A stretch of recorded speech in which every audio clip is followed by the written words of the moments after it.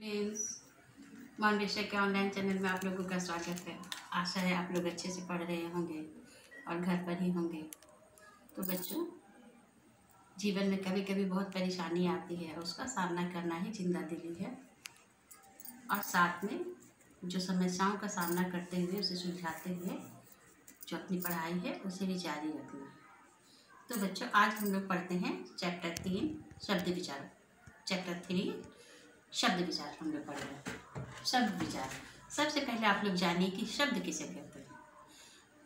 वर्णों के सार्थक में को शब्द कहते हैं। एक या एक से अधिक भी हो सकता है, बहुत बड़ा भी हो सकता है।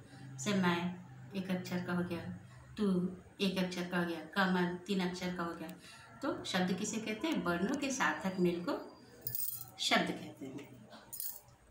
वर्णों का वर्ग वर्णों के सार्थक मेल को शब्द कहते हैं। शब्दों का वर्गीकरण कितने प्रकार से किया गया है?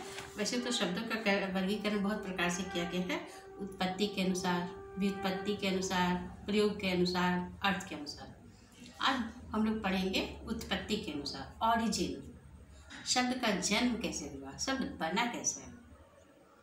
तो जैसे कि बच्चों आप लोगों को पता है भा, सभी भाषाओं की जननी संस्कृत संस्कृत भाषा से ही अन्य भारतीय भाषाओं का निर्माण हुआ है सबसे पहले वैदिक संस्कृत, फिर लौकिक संस्कृत, फिर पाली प्राकृत, फिर अपभ्रंश, उसके बाद भिन्न भिन्न भाषाओं का शब्द बना है। तो उत्पत्ति के अनुसार शब्द के चार भेद हैं, तत्सम, तद्भव, देशज और विदेशी शब्द। तत्सम, तत् प्लस सम, अर्थात उसके समान। उसके समान, किसके समान? संस्कृत के समान। तत्सम वे शब्द हैं जो संस्कृत से बिना अपना रूप बदले उसी रूप में हिंदी में भी प्रयुक्त होते हैं। उन्हें तत्सम शब्द कहते हैं, जैसे घृत, पिता, अग्नि, सूर्य, माता इत्यादि। ये आपके हिंदी में भी चलते हैं और संस्कृत में भी चलते हैं। तद्भव तत्भव उससे बना हुआ। किससे बना हुआ?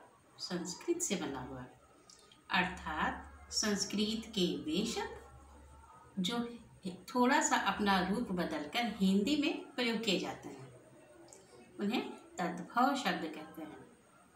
जैसे घृत से घी, सूर्य से सूर्य, तृण से घास, कंटक से कांटा, मुक्ता से मोती। अब है देसी या देशी शब्द। देश की बोलचाल की भाषा में उत्पन्न हुए शब्दों को देशी शब्द कहते हैं। अर्थात ऐसे शब्द जिनकी उत्पत्ति संस्कृत से नहीं हुई है, जिनकी उत्पत्ति का स्रोत संस्कृत नहीं है।